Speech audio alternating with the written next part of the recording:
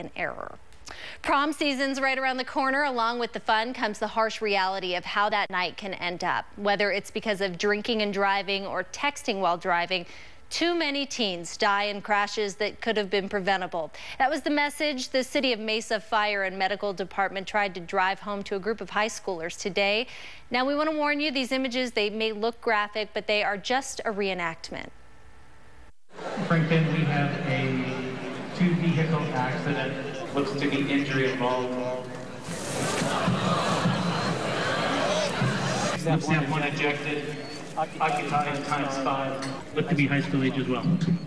It was pretty dramatic and kind of eye-opening, just how much damage it can cause. It happens every day. Distracted driving claims the lives of eight teenagers each day. Students here at Dobson High School in Mesa got to see firsthand what that accident looks like. Let's go up front over here.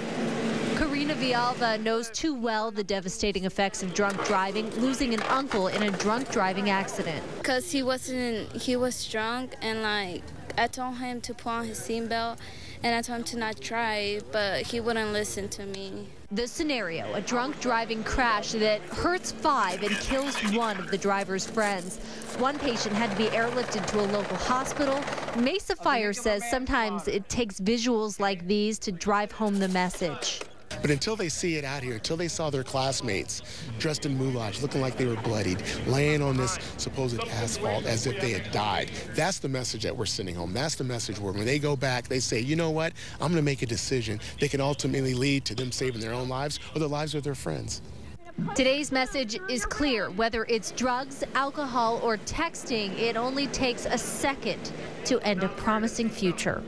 That mock crash was live tweeted today, leading one student to tweet out, I don't even drive yet, and the mock crash got to me. Mesa Fire and Medical says they try to hold one of these events about once every other year. Okay, right now.